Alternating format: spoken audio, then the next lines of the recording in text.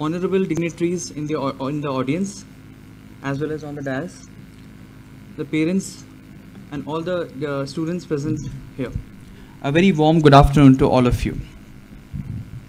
I, Muhammad Nadim, a native of this very Bidar city, stand before you, having cleared the Civil Services Examination 2019 and and just yesterday, I was allotted Indian Police Service by the Government of India, officially.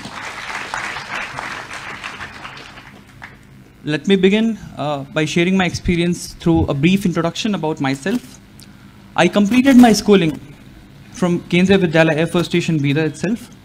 Thereafter, for pursuing my 11th and 12th standard, I shifted to Hyderabad in a college called Sri Chaitanya Junior College.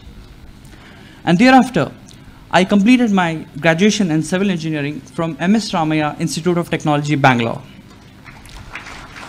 But let me just tell you that ever since my childhood, I always wanted to be Indian Police Service officer. But why? This question is very important. Why is it that a guy from a uh, having done his graduation in civil engineering, wants to be Indian Police Service officer? So just opposite to my home, in about 50 meters or so, there exists town police station. And ever since my childhood, Kannada, I'm more comfortable. Ever since my childhood, whenever I used to go to my school or outside, my eyes were always on the um, uh, men in uniform in the police station. So I told to myself, Nadeem, when you grow old, when you complete your graduation, you have to become Indian Police Service officer.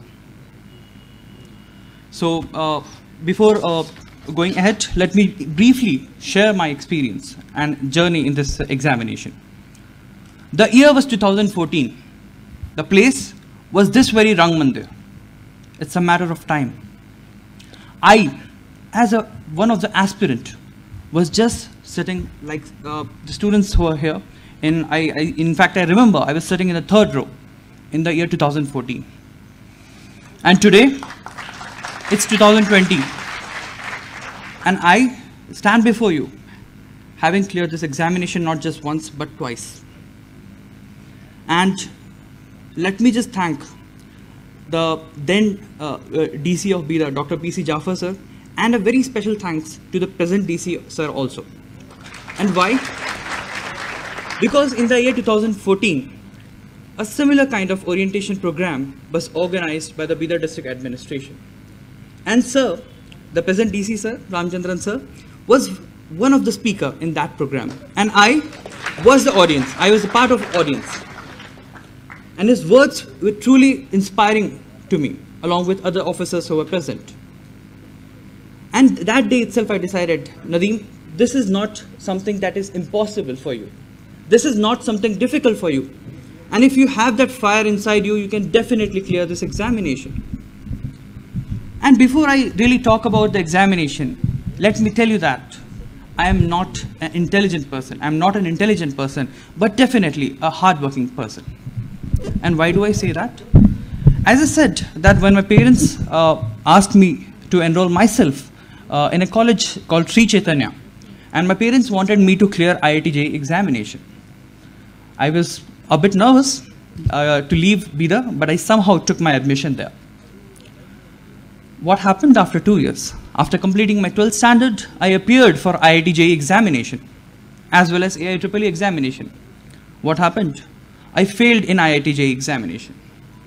And in AIEEE examination, my rank was almost equivalent to my mobile number. It was so, you know, I was too behind. But then, this fire of joining Indian Police Service was always there since my childhood, as I mentioned. What next? I'm uh, extremely thankful to uh, Shaheen Group of Institutions. After completing my graduation, I enrolled myself for a foundation course for about 45 days in the city of Bangalore. And there, I uh, completed my basic foundation course regarding the examination. And then,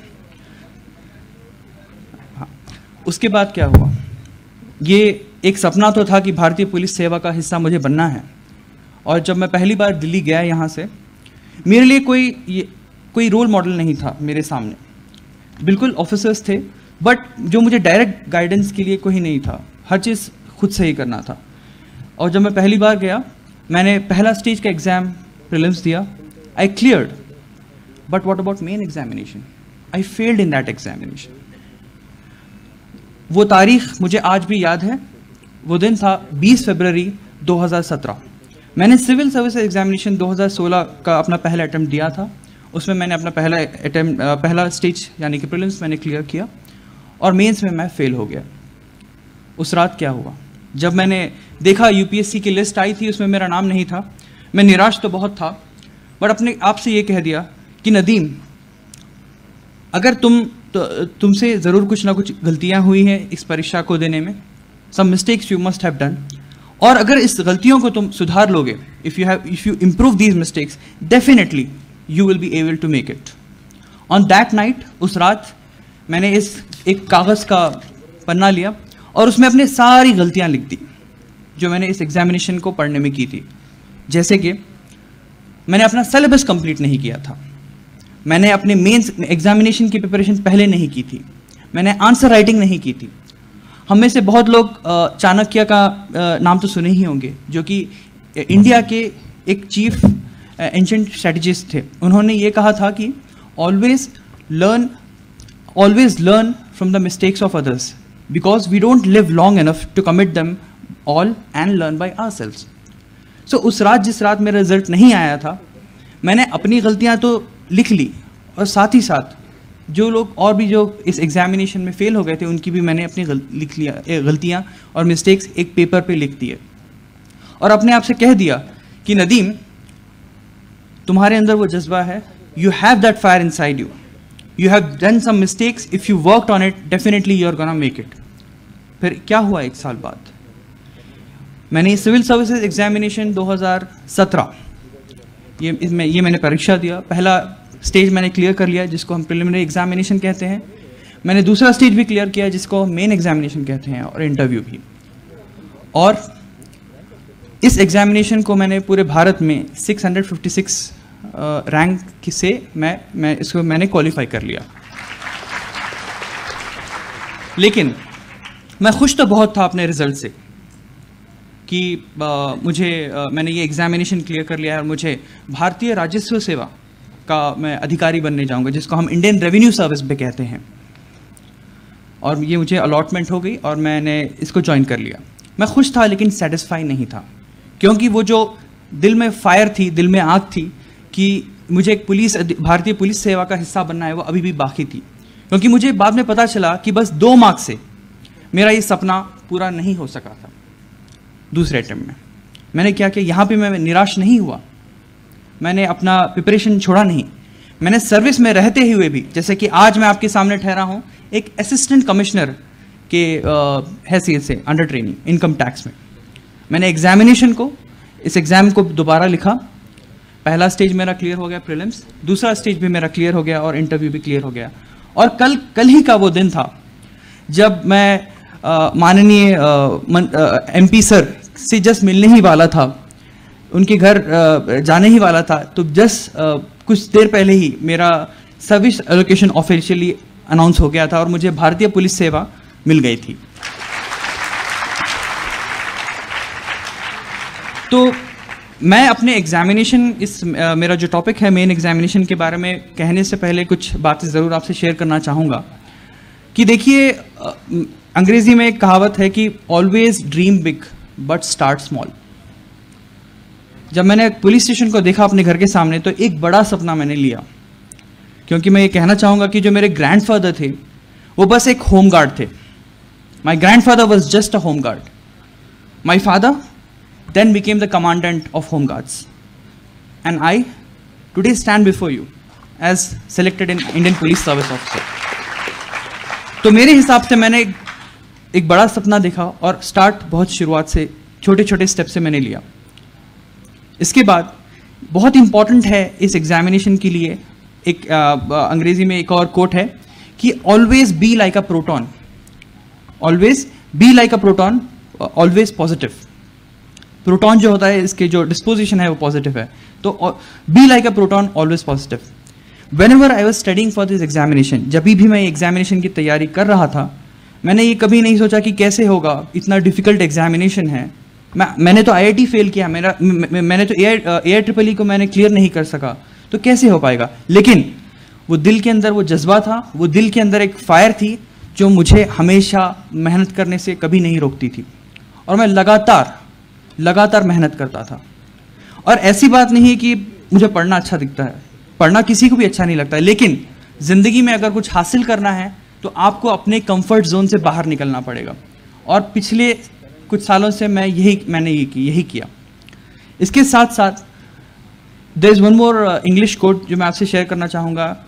वो ये है कि fall three times but stand up on fourth मैं ये quotation इसीलिए कह रहा हूँ क्योंकि ये मेरे लाइफ से और ये सिविल सर्विसेज़ की जर्नी से बहुत ज़्यादा रिलेटेड है। ऐसा नहीं है कि मुझे सफलता एक ही अटैम्प में मिल गई। नहीं। जैसे कि मैंने आपसे कहा, पहले अटैम्प में आई फेल्ड बट मैं निराश तो था, लेकिन मैंने हार नहीं मानी। सेकेंड अटैम्प मैंने जब एग्जामिनेशन लिखा तो मुझे भारतीय राजस्व सेवा मिल इसमें ये सर्विस मिल गई। यहाँ पे भी मैंने हार नहीं मानी, क्योंकि मेरा सपना अभी अधूरा था। मैंने फिर से एग्ज़ाम लिखा।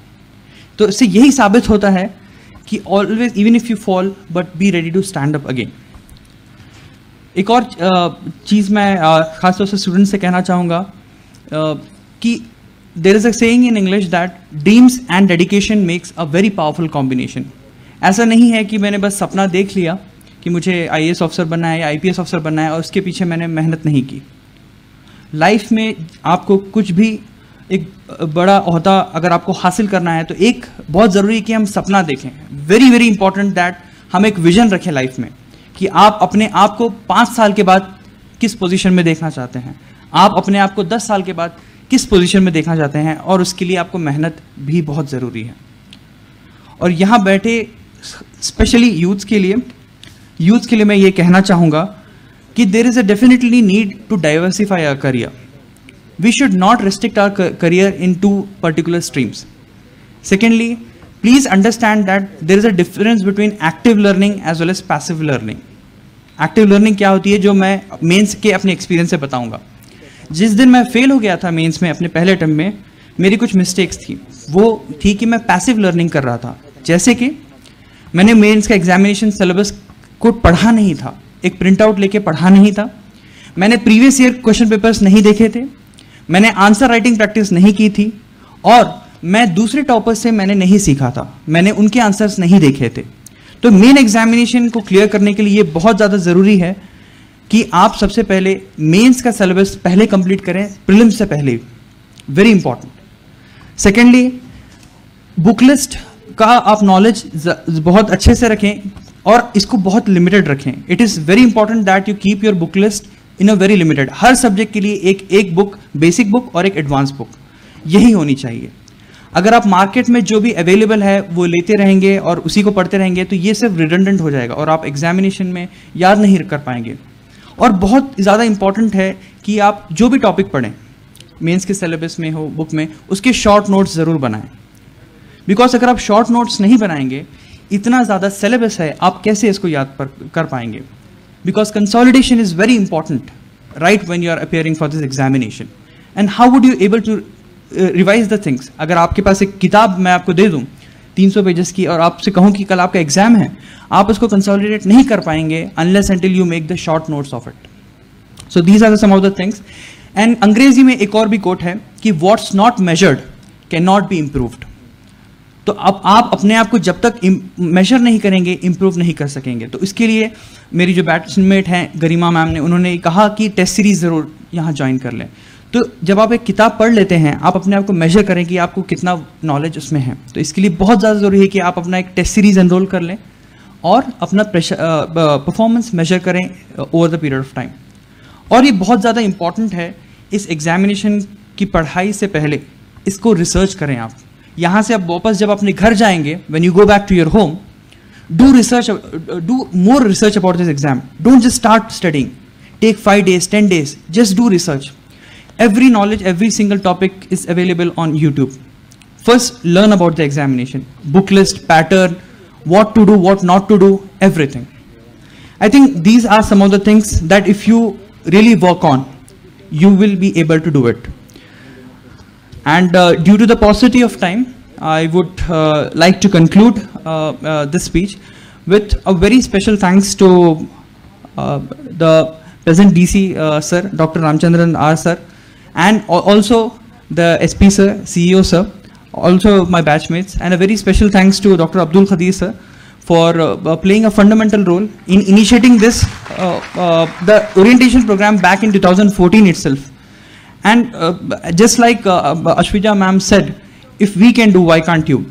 And I definitely want, at least by next year, two years, three years, that some of the aspirants, those who are sitting here, should come on the dais. Definitely, and that's really possible. So with this, I would like to conclude my speech. And if I, I would definitely appreciate uh, whenever there is an interac- interaction session that more questions uh, should be asked from your side because uh, uh, if we have a two-way communication that is much better than a one-way communication. With this, I would like to conclude. Jai Hind and Jai Karnataka.